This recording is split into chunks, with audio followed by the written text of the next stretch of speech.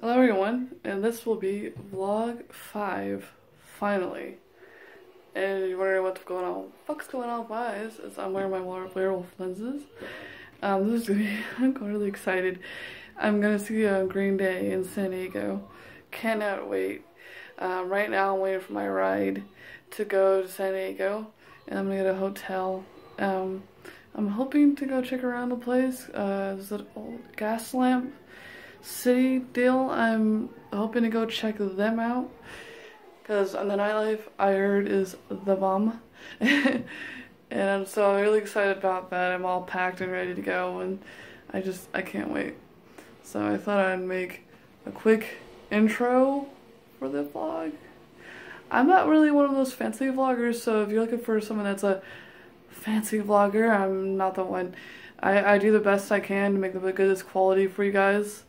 But that is pretty much it. So this is my intro. Uh, I'm not sure how long this is going to be. Um, thinking of making this into like a day one, day two, like vlog five. So I'm going to vlog five, part one, vlog five, part two.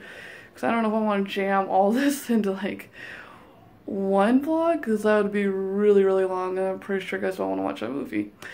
So I'm going to do part one, part two. Uh, tomorrow, I'm gonna wear a course different shirt, but I'm pretty much gonna wear this, my choker. These awesome things. I love them. Um, also wearing one on this wrist too.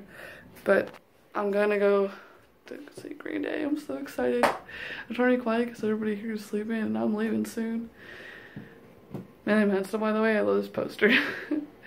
I didn't think about, I guess I'm gonna include this in the video. I recently hung that up. Recently got in the mail. Um, not really recent, but hey, it's awesome. And it's my background right now. So, finally gonna make a decent vlog for you guys. I'm gonna try to do the best I can, get the most footage I can of this beautiful city, San Diego. So, if you're not fortunate enough to go, well, you can see it through my eyes. Or forwardly. Alright, bye guys.